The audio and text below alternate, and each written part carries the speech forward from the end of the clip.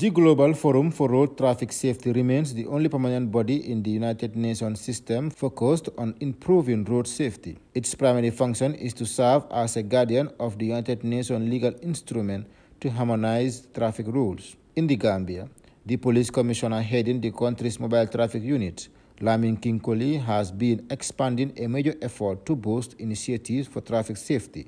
Recently promoted to traffic commissioner, season police executive gives special attention to the safety of all using the country's roads. Upon his promotion, Commissioner Colley organized a traffic sensitization program for students from CBEC International Schools attended by a cross-section of society and school officials. Students were taught by the commissioner about traffic rules and advised to be vigilant when they are on the road.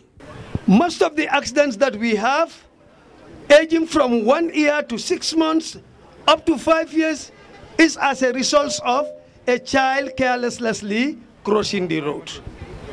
Look right, look left. Again, look right, look left. When it is cleared, then you go.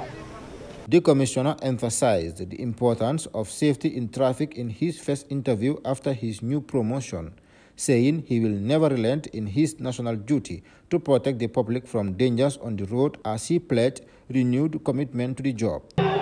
Um, there is a saying, to whom much is given, much is expected. Uh, this will uh, serve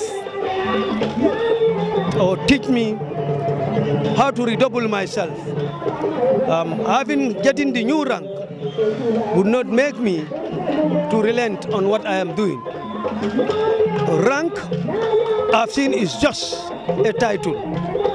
But what is the most important thing is what you feel for the Gambian people, what you should do for the Gambian people. Gambia Transport Union President Omar Sise congratulated Commissioner King Colley for his position and expressed optimism that more changes would be done whilst advising drivers to be vigilant on the road. My advice is most important aspect, let's obey the traffic rules and regulation.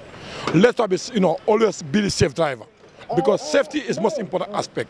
We all know Gambia today, we have been recording too many rough accidents, fatalities, you know, you know, you know, willful damages. So we are all victim on this because our family people have been involved. In. And number two, tomorrow who's going to be involved, nobody knows because we are in those vehicles in our rotary activities.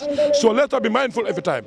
Let us respect. If you have any constant challenges, please engage the right authorities so that we can find a solution.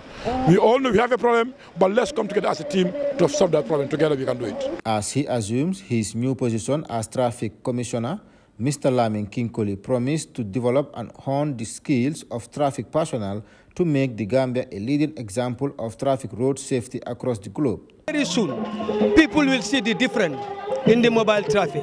The IGP has all materials. Even the uniforms will change.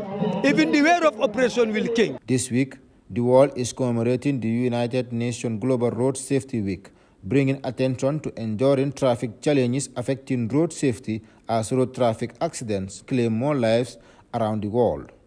Sheikh reporting for Jartes News.